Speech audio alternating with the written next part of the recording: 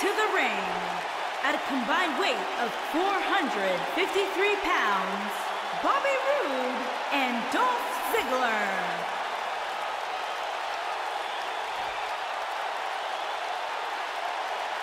And their opponents at a combined weight of 602 pounds, they are the Raw Tag Team Champions, Seth Rollins and Braun Strowman.